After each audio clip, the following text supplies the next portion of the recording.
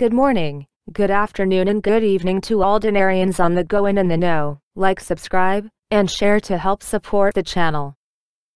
First article of interest for today. Retirement Board. The Ministry of Finance is delaying the payment of pensioners' salaries for unknown reasons. DCAR's retirement manager, Ahmed Al-Zaidi, revealed on Tuesday the reasons for delaying the payment of pensioners' salaries in all regions of Iraq blaming the Ministry of Finance for this matter. Al-Zaidi told Alma Aluma that the delay in the payment of pensioners' salaries for the current month of May is due to internal reasons at the Ministry of Finance. He added, the Ministry of Finance did not specify for a moment the date of disbursing the salaries of retirees throughout the country, despite the passage of five days from its original date for disbursement. Sources reported that the delay in the payment of salaries may have been caused by the retirement of the Ministry of Finance formerly from retirees, but the National Retirement Authority implemented any deductions. Next article of interest. Samsam to Al Masala, reducing the value of the Iraqi dinar reduces the per capita income of Iraq in half.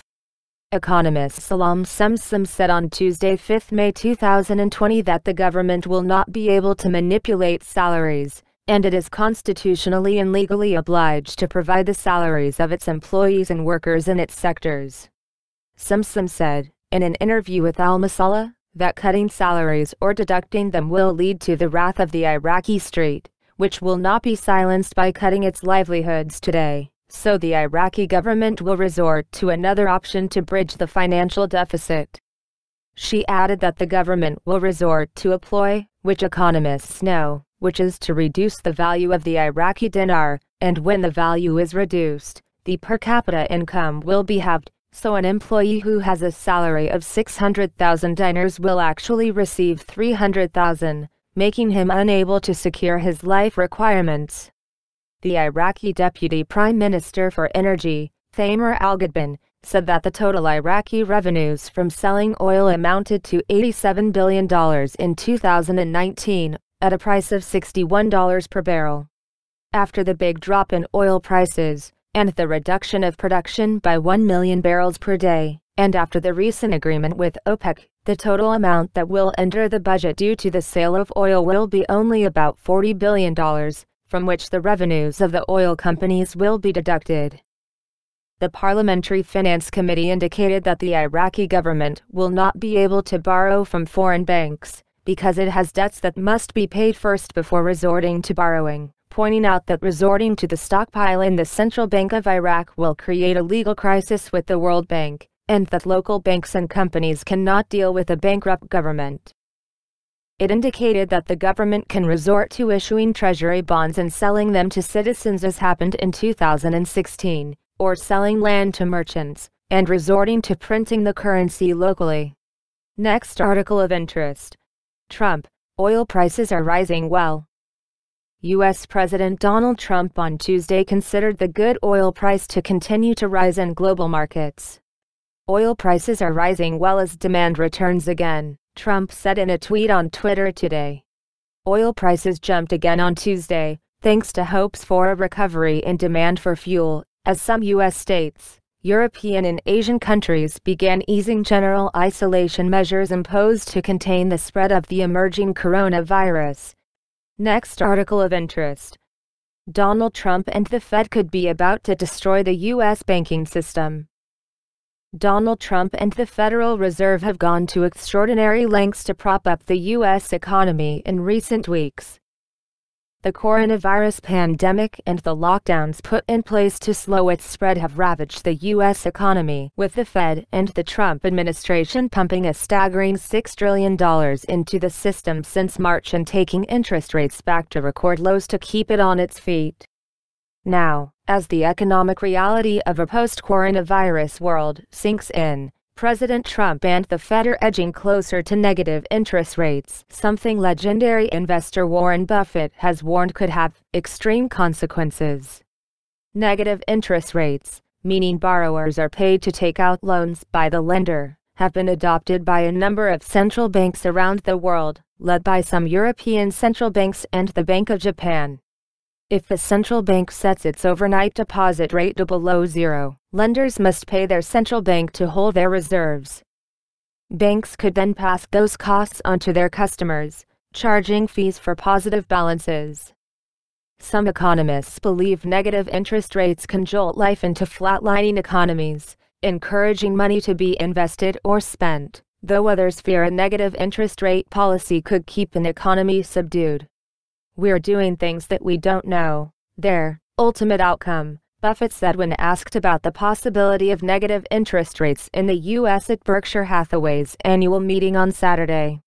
Negative interest rates are probably the most interesting question that I've seen in economics, Buffett said, speaking to shareholders via webcast and warning of extreme consequences if a negative interest rate policy is brought in.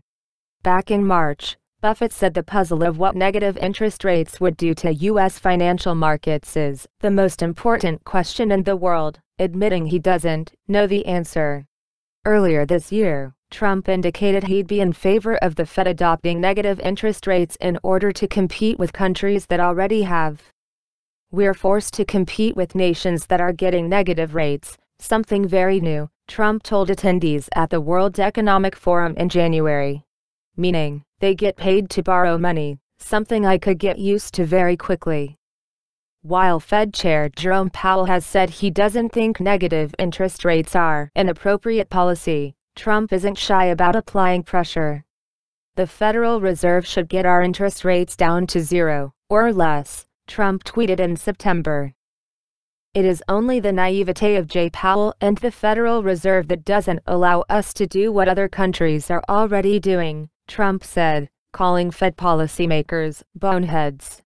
Meanwhile, Narayana Kocherlakota, a former president of the Federal Reserve Bank of Minneapolis has thrown his weight behind negative interest rates, calling for the Fed to set interest rates a quarter percentage point below zero and put employment above bank stability.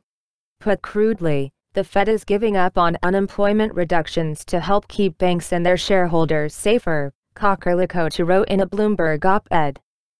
The Fed opted to keep interest rates on hold at its latest policy meeting last week, though Powell said he is willing to go further to prop up the economy ravaged by lockdowns.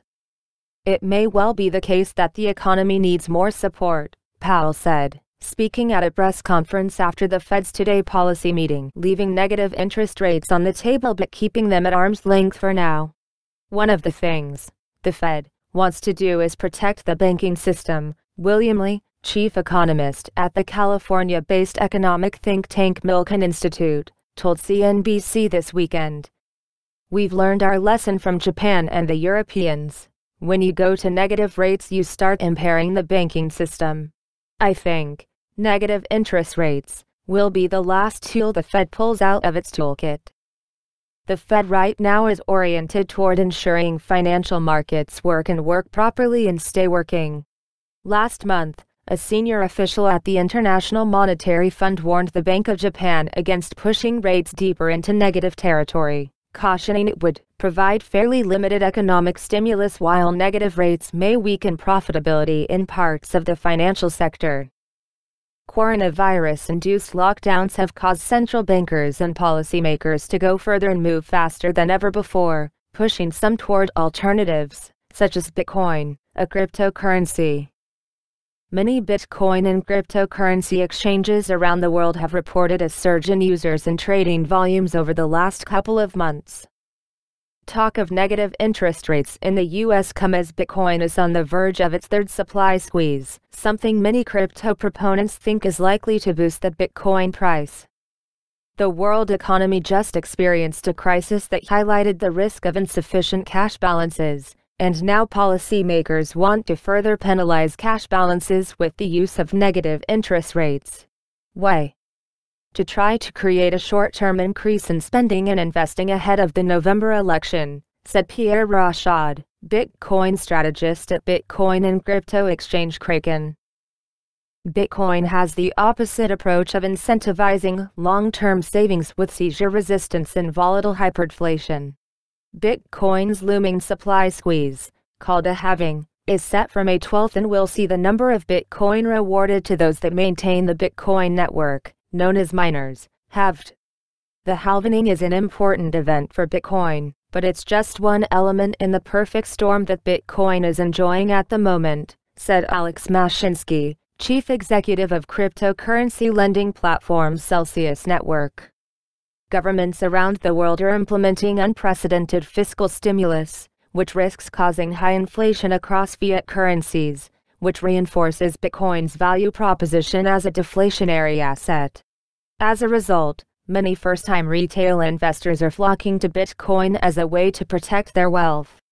The Oracle of Omaha, Warren Buffett, who's previously branded Bitcoin, probably rat poison squared, told Berkshire Hathaway shareholders the coronavirus pandemic could have an extraordinarily wide range of possible outcomes.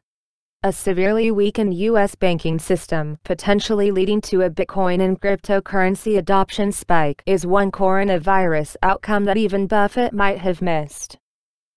Like, subscribe, and share to help support the channel. Check out the Dinarian blog. Facebook and Twitter as I post important daily updates on these platforms throughout the day as well. The links to these and other invaluable sites are in the description box below. Knowledge is power. Using that knowledge is powerful.